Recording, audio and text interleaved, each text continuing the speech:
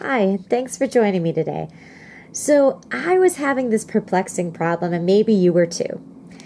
I could not find where they put most of the settings for the keyboard input. So, it used to be on an Android, you'd go down, you'd touch the settings button, then you'd go to General, and then you'd hit, then there'd be an icon here, or you could hit it and you get a keyboard icon here. Nope, no longer.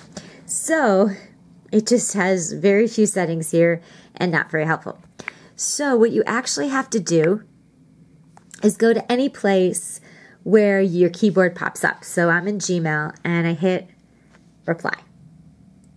So, you see this little microphone icon right there. You press and hold it for a moment, and there is your settings icon. Ta da! And here you could put whatever you want in. I had to get rid of auto correction because it was sending words I did not want to say. And then if you want other things like get rid of vibrate on key press, which I personally do not like, uh, that's where you do. That's your auto capitalize, punctuate, and all that. And then you are good to go. So thanks so much for watching. Hope this helps. And if you did enjoy it, please like it, follow me, and if you felt this was a poetic moment that your phone now works more rhythmically or much better, please feel free to go to my other channel, which is Improv Poet Amy.